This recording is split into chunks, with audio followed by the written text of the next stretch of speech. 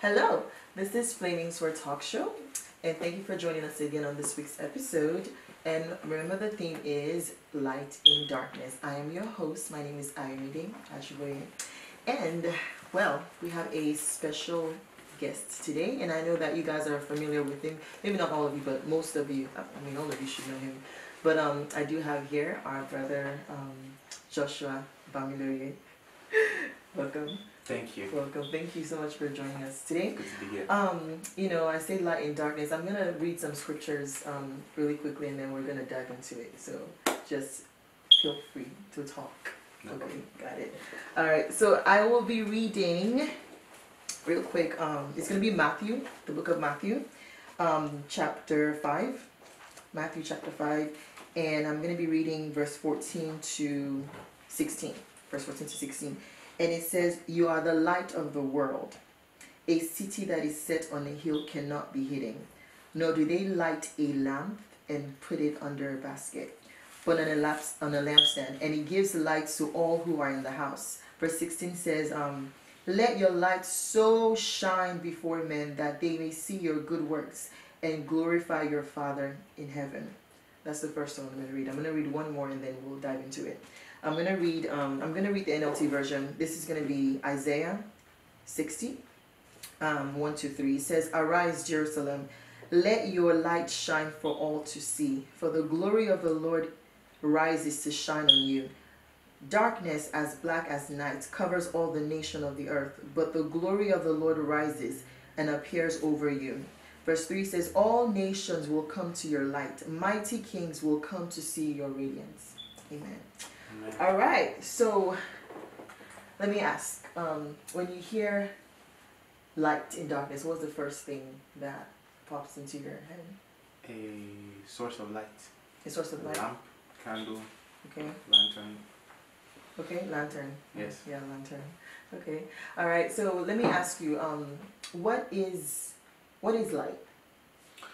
Light is um, light has several meanings to me, Okay, let's, but let's the first and most important reason I see light as is um, illumination. That is Okay. enlightenment. That is um, seeing, That's understanding, hmm um, clarity, Right, right, right. and so on and so forth. That's really good because I think for me, I mean, I've always, I always saw light as, you know, I mean, light. I mean, not necessarily light, but when I think of light, I, I you know, because I guess when you read the Bible, it's talking, we know it's talking about Jesus. Hmm. But it wasn't until re- recently that I understood that light is knowledge, kind of like you said, enlightenment. Mm, It's mm. understanding, and that's Mm. really good. I'm glad that you said that. That that is light. Um, now let me ask another one before we go deeper into it. Um, so you said light is enlightenment. So how can a person get this light?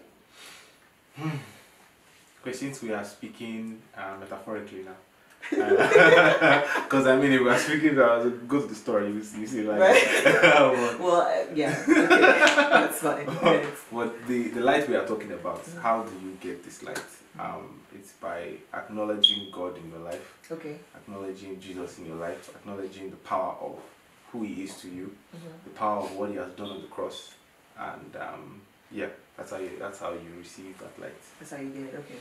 So that's that's great. That is true. So you first have to come to the come to Christ pretty Exactly. much and make him your Lord and Savior. Mm. And then, you know, you come into his light and you see light in his light. But anyway, From there, you go on to getting into His Word. Because Right, I right. said His Word is a light unto our feet. and a lamp unto our path. unto our path, Perfect. That is great. So now, so we want to make it more practical. So now, as believers, based on the scripture that I just read, it says we are the light of the world. Mm. you know and it says you know that when a lamp is in a in a house or in a room it's not meant to be hidden under a bushel or a basket it's meant to give light to all those that are in the house in the Mhm. home or Mhm. wherever it is that the light is Mhm. so how how can a how are we meant to be this light in the world and then i'll go to you personally Mm. Um, we are meant to be the light, first of all, by understanding why we are created, okay knowing why we are created. Why did God create us? Why, why are we on earth? Mhm. um, the minute we begin to understand why and begin to understand our purpose, we begin to understand um, why God has created us. From there, we begin to walk in that line and begin to fulfill that mandate. Because every no one is born by mistake, Right. no one is born by accident. Mhm. Um, so the minute we begin to understand that, why was I created? What's the purpose? What's function? What goal? What vision has God given to me? The minute we begin to to see that, we begin to exercise that light. Okay, that's great. So I think another thing, what kind of stands out to me again is the part I think I just mentioned it that says, you know, when a light is in a room, it gives light to all those that are in there. Mm. I think that is amazing because it, what pops in my head is, for example, um, maybe being at a workplace, um, you know, by my lights, because I carry Christ in me.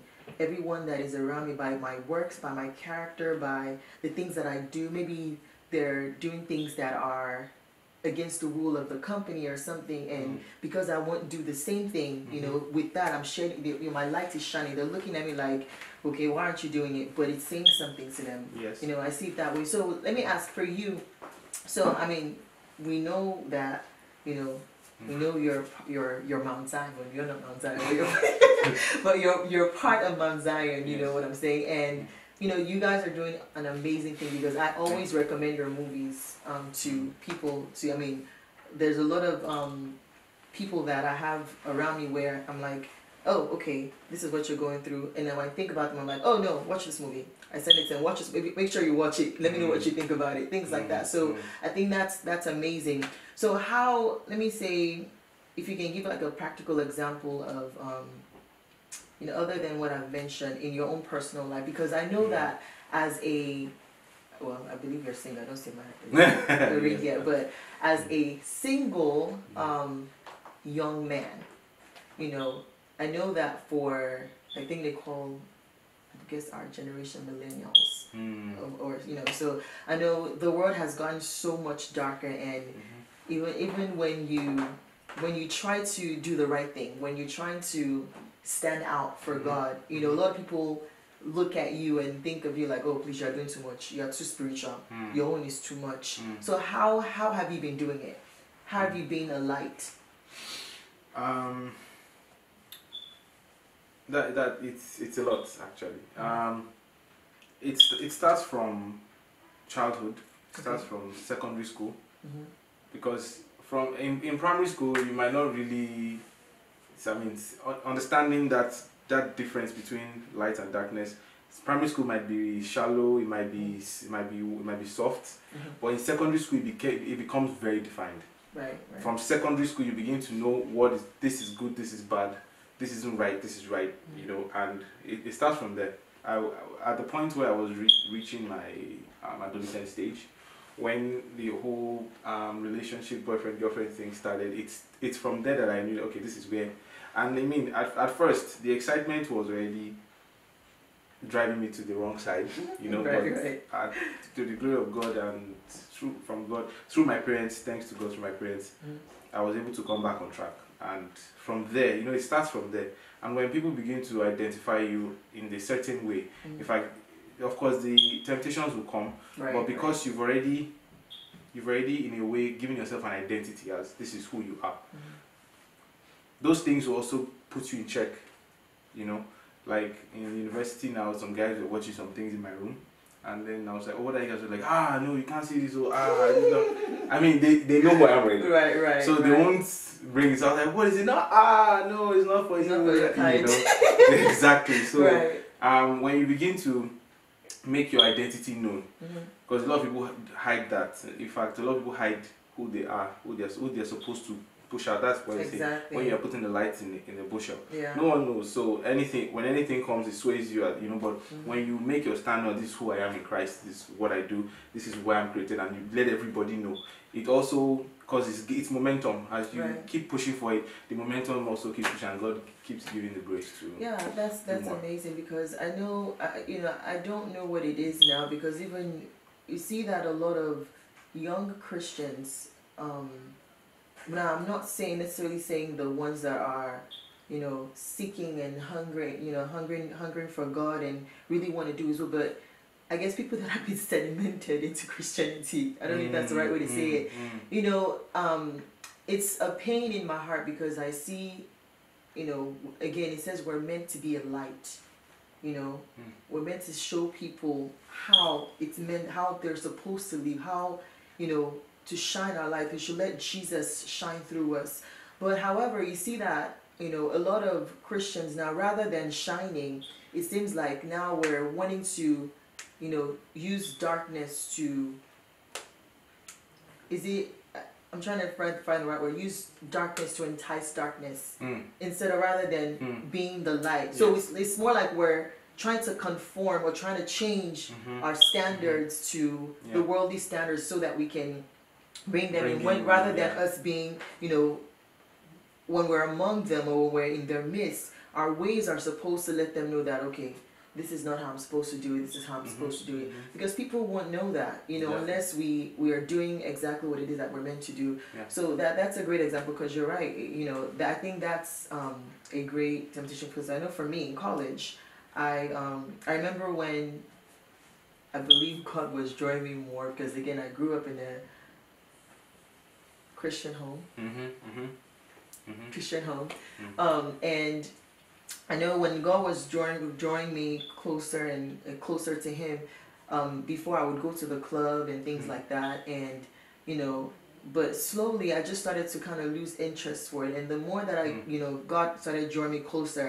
I had friends around me that we, we would go to club together, but one day. I decided, you know what, this is a waste of my time. like, what am I gaining from it? Mm. It's not benefiting me in any way. I decided, okay, I don't want to go to the club anymore. I'm just not gonna do it. And um, you know, I didn't think that people were. I didn't. I didn't know that people were actually seeing the change Mm, mm. that was going on inside of me. Mhm, And you know, as the change was going on inside, it was starting to reflect in my character and the things that I would do and the choices that I would make. And all of a sudden, you know, when light comes, darkness flees. Yes. And so all the people that were around me, I'm not calling you darkness. I'm just saying, all I'm saying, I'm just trying to explain something. But, you know, people that were around me that were not looking to live that type of lifestyle for Mm. God, they started to fade away. They started to kind of Yes. leave. And Yes. what God started to bring people that were, Yes. you know, seeking for the same thing as I was. Now, I want to ask you a question because I know that you are, you do a lot with music. Yes. Right. So, what I know the kind of music that you do is is more even towards. It talks about different things, encourages, um, you know, it tells a story Mm. about. It's all basically for the kingdom of God. Yes. What made you, um, besides maybe for also for Mount Zion, but what made you choose the style of music that you do and and, and yeah, what made you what made you do that? Um, my approach to, let me say, my introduction to music came from a very unusual angle. Mm-hmm. I didn't come into music from the angle of wanting to release songs and um, sing on stage, Mhm. and my approach came through drama.